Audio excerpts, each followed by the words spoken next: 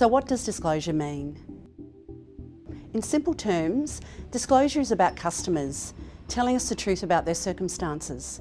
We use your answers as the basis of our risk assessment, taking into account your personal, medical and family history information. So why is disclosure of medical history and personal information important when applying for life insurance?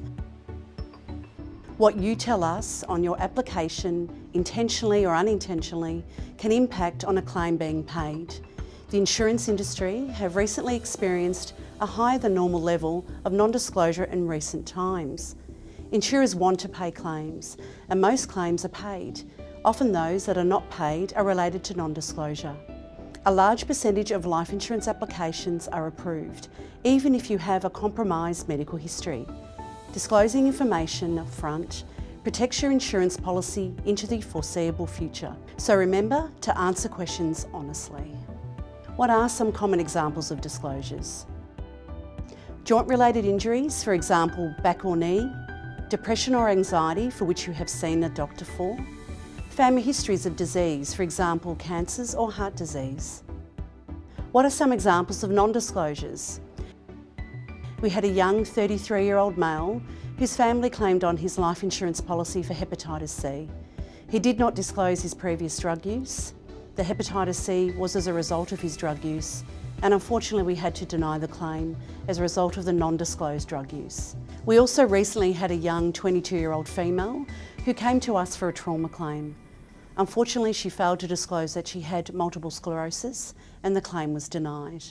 Unfortunately, she failed to disclose that she had multiple sclerosis and her symptoms were numbness of the left leg, impaired vision, and she was very unbalanced on her feet.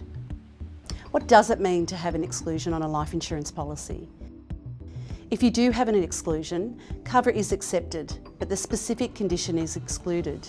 For example, if a customer has a bad back, the back will be excluded. However, you can still obtain cover for all other conditions. What does it mean to have a loading on a life insurance policy?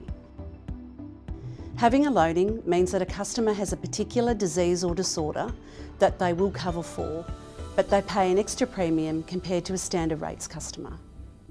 Do customers need to disclose that their medical circumstances have changed after taking out their policy? After you have had your policy accepted, you do not need to notify us of a change in any circumstances unless you are going to increase the level of cover. General insurance differs from life insurance in that for general insurance, it's a renewable contract. Each year, the insurance company reviews your risk levels, how circumstances have changed and considers whether they want to insure you.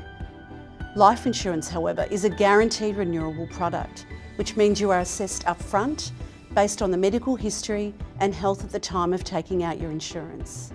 Remember to always disclose your complete medical history when completing your application so your insurance company can help you should you ever need to make a claim.